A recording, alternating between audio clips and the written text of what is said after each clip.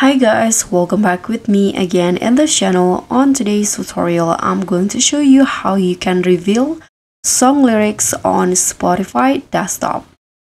So previously when you open Spotify and you want to see the lyrics and sing along to the songs, you need to pay for it or you need to uh, subscribe to the Spotify plan to see the whole lyrics. So you can just see the uh, lyrics preview but now spotify has uh, like get rid of that.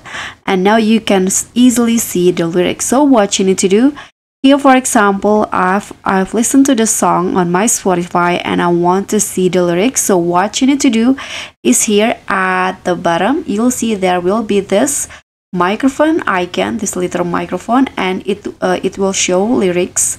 So when you tap on that when you click on that you'll see the lyrics of the songs that you currently listen to.